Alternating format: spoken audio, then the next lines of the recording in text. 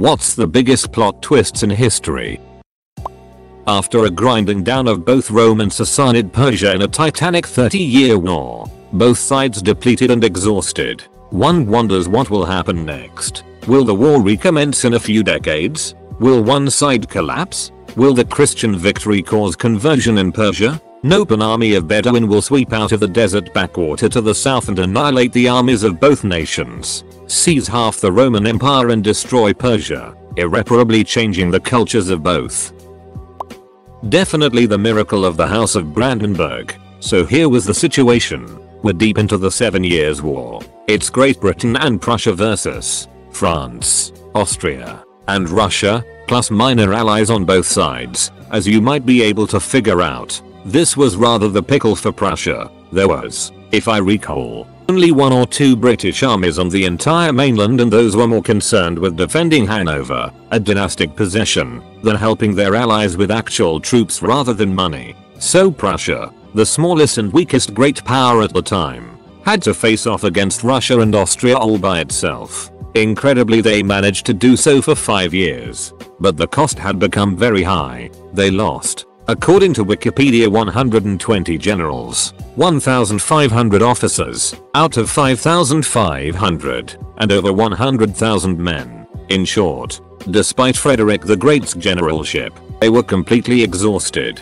Cue the most bullet event in history. The Russian Empress Elizabeth, a daughter of Peter the Great, died suddenly, and her heir was Peter III, her German-born nephew from her sister Anna. And this guy was Frederick the Great's biggest fanboy ever. He decides to save his hero, making peace with him, offers to become his ally, and orders Russian troops to march against the Austrians. So by pure luck Prussia goes from potentially being destroyed to being completely saved. The Republicans in power hated Theodore Roosevelt so they stuck him into the most powerless political position, vice president. Then McKinley got himself assassinated and made Roosevelt the most powerful man in the country instantly and bringing in all kinds of reforms and change in the country domestically and internationally. Britain winning World War II and losing most of its empire within 10 years. Germany losing the war and becoming an economic powerhouse and dominating European politics a few decades later. Womp womp. An assassin tried to kill President Andrew Jackson. Not one but both of his pistols jammed. Not being happy with his attempted murder, President Jackson commences to beating the would-be assassin with his cane. This wasn't a light beating. He nearly killed the guy, and then in comes Davy Crockett, the king of the wild frontier, who killed him a bear when he was only 3, has to pull the president off the guy. Alexander the Great wanted to worship at a temple on the island Koti of Tyre. They wouldn't let him, as Tyre wanted to be neutral in the war against Persia. They asked him to pray at temples on the mainland. The twist? Alexander turns the ducking island into a peninsula and crucifies almost everyone in the city, selling the rite into slavery. Reason I remember this is because I read this amazing trilogy years ago about a guy and his friends joining Alexander's army. They spent every day hauling logs and stones to the ramp. Killing Julius Caesar because no one wanted an emperor. Augustus, Octavius, becomes emperor a couple of years later.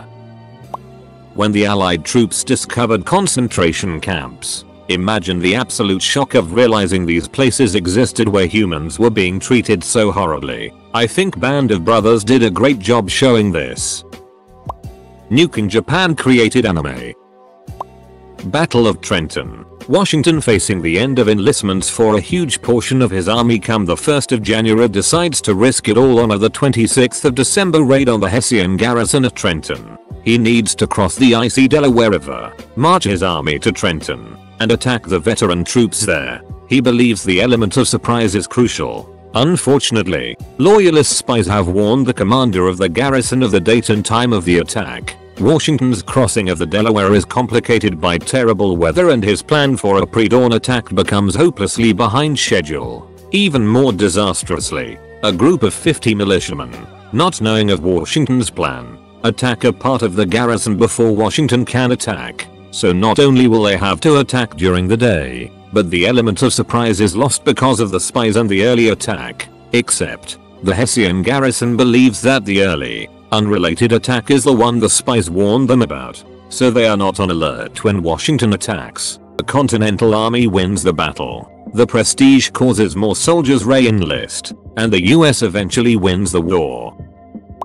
A diplomat ducked up because he was tired and caused the massing at the Berlin Wall the night it came down. Gunter Schabowski was an East German diplomat who had just come back from Poland that night and was tired and overwhelmed. But, he had to read an announcement about travel rules changing at a live press conference, and since he had just got back, he hadn't been fully briefed. The new rule was that Easterners could apply for a visa to go west for short trips, wait a few days from the announcement to apply and be approved. The announcement was in clunky language and started by saying stuff like liberalization of travel rules, blah blah, can now visit the west, blah blah.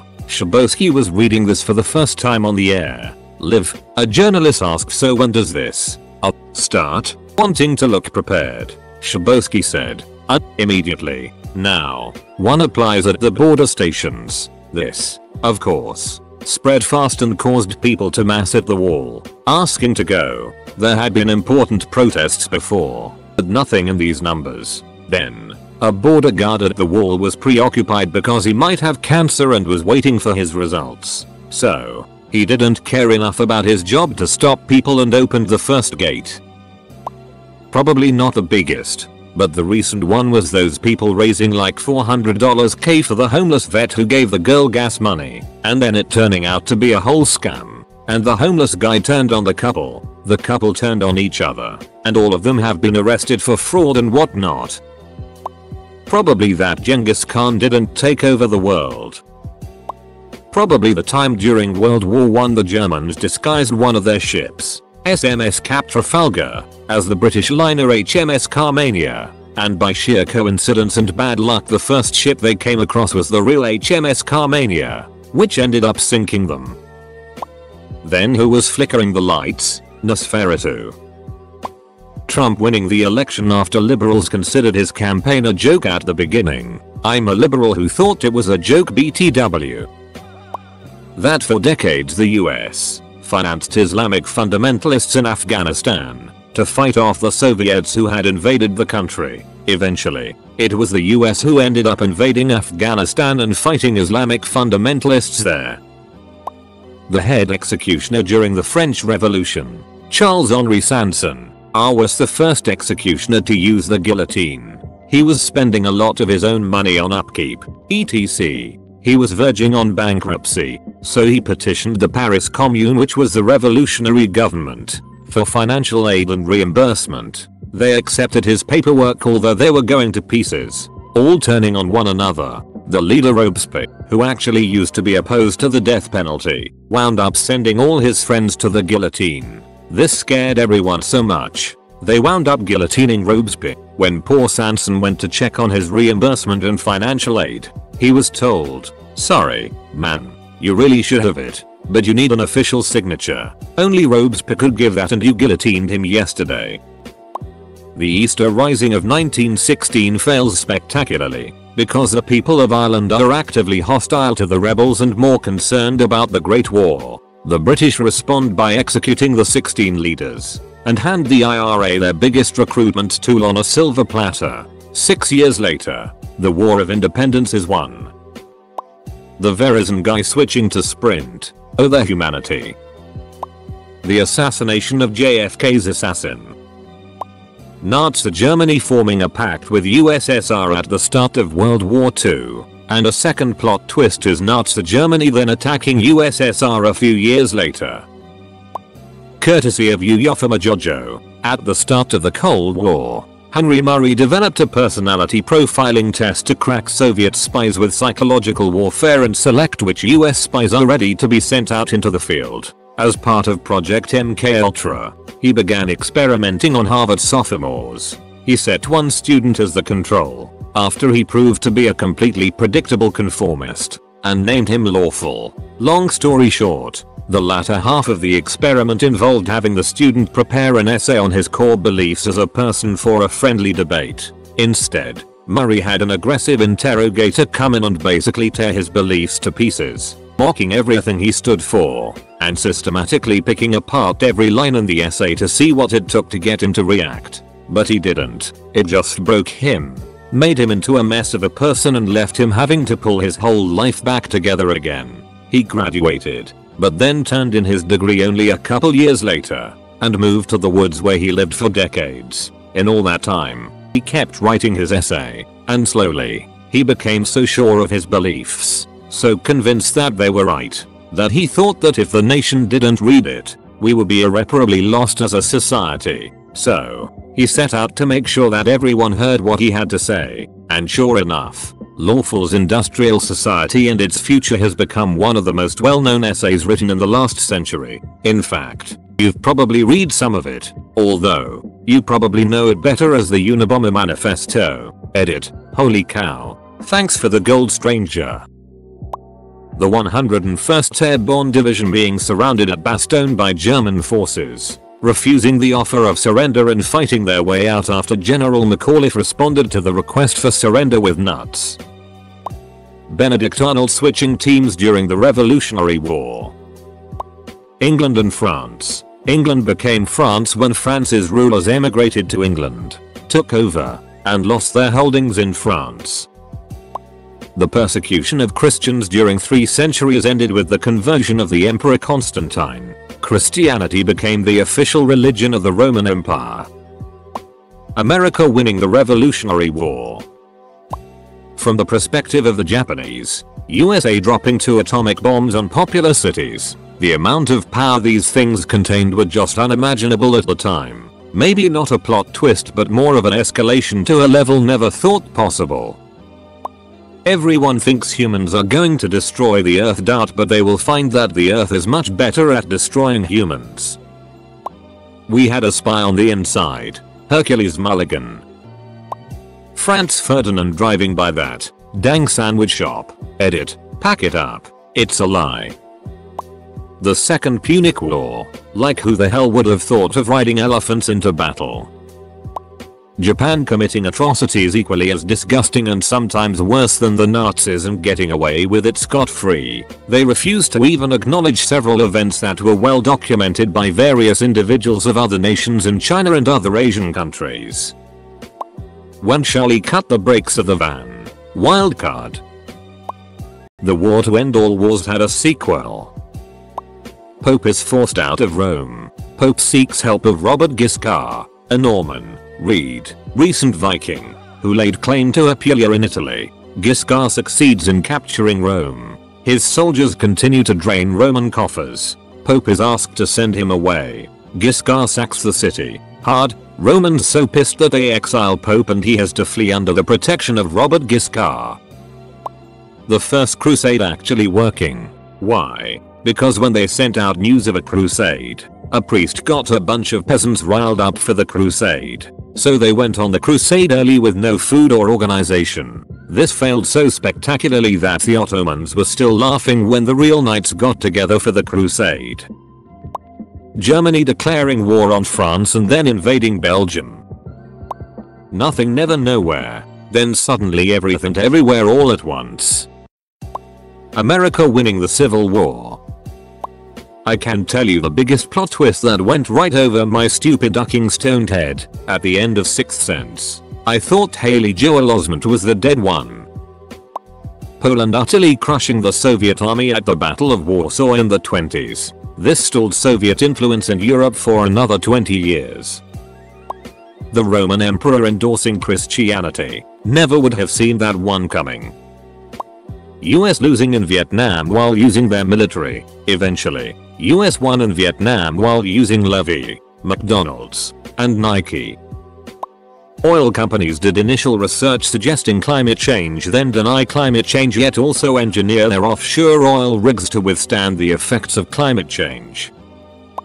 Genghis Khan sends a large trading caravan to Khwarezmia, in the Middle East. The local governor decides to arrest the whole lot of them and sentence them to death, an exceptionally poor idea. Genghis was seeking a potential alliance at the time. Genghis responds by sending a few ambassadors to meet the Shah and ask for the caravan's release. The Shah beheaded one of them and sent the others back with their heads shaved, a grave insult to the Khan. Two years later, there was no Khwarezmian Empire. Judas betraying Jesus Jesus coming back to life. I think Battle of Stalingrad was a huge turning point. It depleted and exhausted the Germans. Hitler lost his it and resources. Allies were able to plan invasion due to Germans not cleaning up their mess in Russian theater. If Stalingrad had fallen, Hitler would secure Caucasus region and Russian oil fields, capture Emi and push allies out of Africa. Without Eastern Front, the west coast of France would be fortified with sea defenses and Britain shore would collapse under constant air bombardment and rockets. Order 66. It changed the universe forever. I don't know about the biggest ever in history, but I can think of a good one I saw myself. My geography teacher, who was a victim of some really crazy accusations. There were some rumors about him supposedly ducking a 16 year old student. Turns out the guy was gay and had threesomes regularly with male models. Also, he was happily married with one. Apparently, the girl made the rumor up because she had a crush on him and it got out of hand. She confessed it later, but it was kinda too late, since everybody was already attacking him. Actually feel bad for him. He was a genuinely nice guy, and an excellent teacher. He didn't deserve to pass through that. And he had some epic pecs. No homo. Edit. Words. Edit. Guys. Thanks for the updates. Bruce Willis was bald all along. Probably whatever was happening in the new world. They could have had their own Game of Thrones playing out. Then suddenly disease wipes out everyone and a little while later some white people come around murdering and enslaving the survivors. It would be like if halfway into an episode of Friends, everyone but Rachel gets the measles and dies. And then Benicio del Toro shows up, rapes her and sells her apartment to the family from Full House. Napoleon returning to France in 1815. To make a long story short, Napoleon invades Russia in 1812 and fails miserably, and the 6th coalition chases him all the way back to Paris, where they force him to abdicate the throne and they exile him to the island of Elba near Italy with 1000 of his old guard, his most elite soldiers, in 1814. Napoleon is there for a few months before he escapes with all 1000 of his old guard and returns to France in 1815. But that wasn't even the best part. The King of France sent an army to arrest Napoleon. But amazingly the army joined Napoleon and marched to Paris with it. And it didn't just happen once either. Every army the king sent ended up joining Napoleon, so he was able to reclaim the throne of France without firing a shot. When as an 8 year old I learned that the iconic little swordsman in a green tunic wasn't actually Zelda and instead was named Link. Zelda was just the princess who needs to be saved. Not just a major plot twists in history, but a top 10 anime betrayal. The part where the mud with the amino acid soup got hit by lightning and some years later started thinking and wound up making spaceships. Early in World War II the Germans had developed a magnetic mine that was unsweepable and so powerful it could split large ships in two. The English had no idea what it was. They figured it was a magnetic mine of some kind but had no way to find them or blow them up without sinking their own minesweepers. They were literally helpless and these mines were sinking a ton. England obviously pretty heavily relies on imported food so this is a huge deal. Then, just about a week after they went into real panic mode, a German aircraft dropped a mine on land right outside of London. No big deal. The mines were supposed to detonate if they were at all tampered with. Only problem? The aircrew that dropped the mine had forgotten to arm it before dropping it. So a German aircrew literally dropped what was possibly the Germans' best chance to force England to negotiate on their enemy's doorstep. The English figured out how to set the mines off without touching them and later how to make their ships undetected by the mines. You should have gone for the head. Edit. Accuracy of quote. JFK and Hitler's girlfriend Inga Arvad might have ended up in marriage if his father approved of her. His father didn't like how she was already married and that she might be a Nazi spy. 1 bitcoin being worth $10 k. During the Korean War the Marines' morale was at an all-time high despite the freezing weather and low supplies of food. Then the unthinkable happened. As the US was kicking ass they decided to continue advancing north on the Korean peninsula when the Chinese surprised attacked them. The Marines easily won the battle and the general commanded the invasion to continue. It was at this time the Chinese were hiking in the mountains around the Marines. Undetected, completely surrounding them. This left the Marines completely trapped with only one road back to safety. They couldn't even fight back because they were so fatigued. The Marines said all they could do was walk while being fired at and every so often you heard a scream. This was the turning point of the war. In 1274 and Kublai Khan has run out of China to conquer so now he's going to conquer Japan. His first attack fleet gets fended off by samurai, so they head back to China where they would regroup and plan a bigger follow-up attack. On the way back to China the fleet gets sunk by a typhoon. It's 1281 and Kublai Khan is back. What does he want? Japan. When does he want it? 1281. I already told you that. He launches the second biggest naval invasion the world will have ever seen, as of 2018 first biggest, D-Day, and come to find out, the Japanese have blocked their beaches off with seawalls. He trawls around the coast of Japan looking for a place to land, and continues to do so right up until the day the fleet gets destroyed by a second typhoon. Those typhoons names? Kamikaze. Plastic. Revolutionized everything from medical procedures to art supplies. There are so many things we do every day that would not be possible without plastic or at least would be much more time consuming and difficult. Fast forward 50 or so years and the stuff is literally killing the planet at an alarming rate. Hitler was a major factor to most of our technological and medical advancements. Without all the rand going into that stuff to topple him we wouldn't be where we are now. Modern history might not exist if one man hadn't caught food poisoning. After conquering Chinese and Muslim civilization, and then Eastern Europe, the Mongols made plans to conquer the rest of Europe. The Mongols estimated it would take 13 years and planned to devote 120,000 soldiers to the task.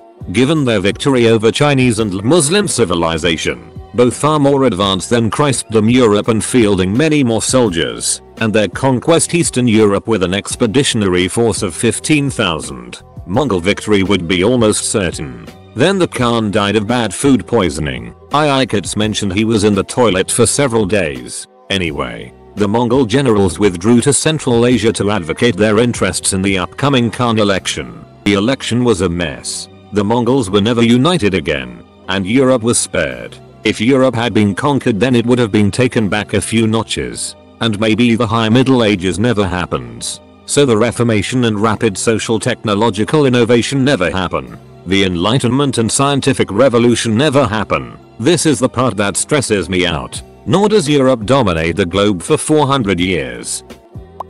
Anastasia was dead the whole time. Aussie army gets told to go cull the emus, whose numbers were in excess at the time. Aussie army goes in. Humans with guns to shoot a bunch of big dumb bush chooks. Emus kick the Aussie army's ass and Aussie army forced to retreat. Emus win the war. Mithridates VI was and the king of Pontus around 100 BC. He was super paranoid of being poisoned so in order to combat this, he took small dosages of poison every day to build his tolerance. He was eventually captured by the Romans and tried to kill himself using poison but couldn't, since he was immune. Kevin's dog is not dead from the office.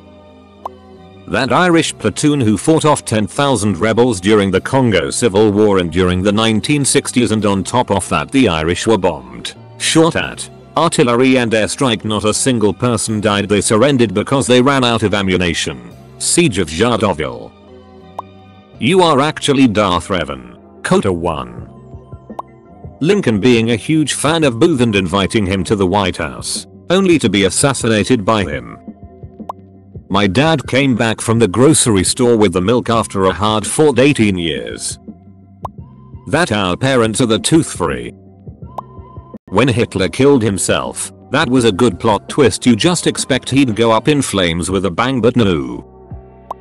The Long March, you acute o grave o after suffering massive losses in the encirclement campaigns conducted by the nationalists, the Chinese Red Army made perhaps the greatest tactical withdrawal in history, with a force of a few thousand put together from remnants of surviving armies. They crossed mountains and rivers to escape pursuing nationalists, ultimately winning the Chinese Civil War.